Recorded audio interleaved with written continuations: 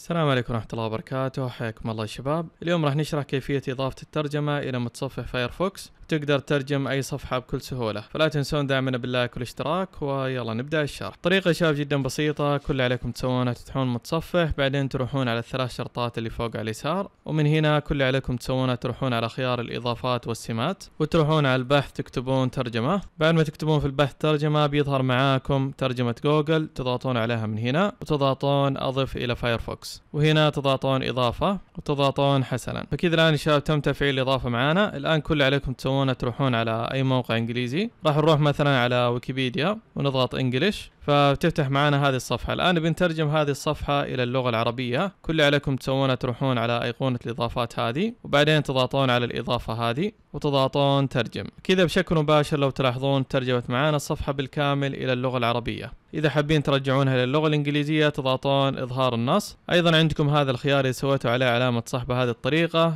أي موقع تدخلون عليه باللغة الإنجليزية راح يترجم لكم إياه بشكل تلقائي إلى اللغة العربية فهذه كانت طريقة يا شباب بكل اختصار لا تنسون دعمنا باللايك والاشتراك نشوفكم على خير مع السلامة